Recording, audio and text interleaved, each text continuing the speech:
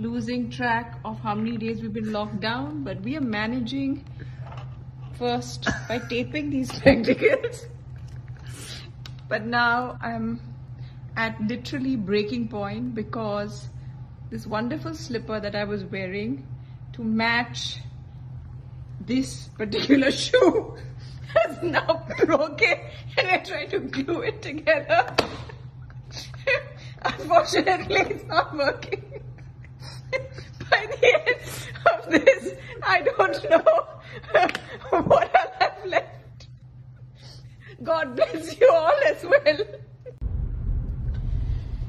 It's 10:31 a.m. on a Sunday morning and the roads are deserted except for some pigeons and crows who've left these wonderful gifts for us on our windshield. Here's my driver all the way from Chandni Chowk and we are on our way back from the hospital. No, I don't have coronavirus. People go to the hospital for many things including like me for being unusually clumsy. So this Sunday, my husband's pocket is lighter, our hearts have never been more full and my foot is bloody broken. A happy Sunday to you as well.